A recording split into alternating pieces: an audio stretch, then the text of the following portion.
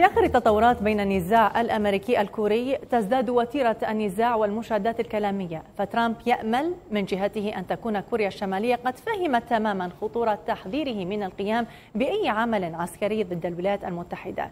ومن جهة مقابلة ذكرت كوريا الشمالية أنها سوف تطلق صواريخ باليستية ستمر بأجواء ثلاث مقاطعات قبل السقوط في المياه قبالة غوام مزيد من التفاصيل مشاهدين في سياق تقرير الزميل ماهر أبو لبدة.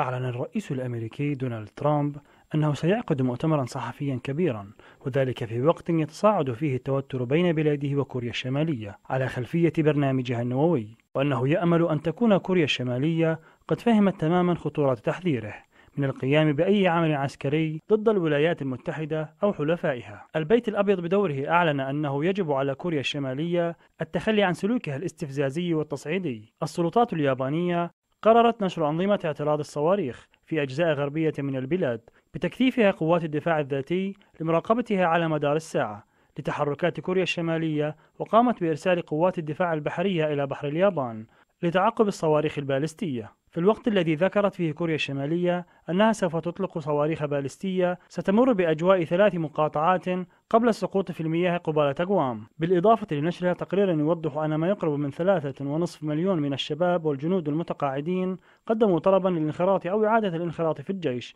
للانتقام من الولايات المتحدة بسبب العقوبات الاقتصادية الأخيرة التي أقرها مجلس الأمن الدولي بحسب التقرير. وزيرة خارجية كندا دانت بدورها التصرفات الأخيرة للنظام الكوري الشمالي معتبرة أن برنامجه النووي يشكل تهديدا خطيرا للعالم يجب أن يتوقف. في الوقت الذي دعا فيه الرئيس الفرنسي إيمانويل ماكرون إلى تحمل المسؤولية ومنع أي تصعيد في التوتر بعد أيام عدة من السجال الجاد بين واشنطن وبيونغ يانغ.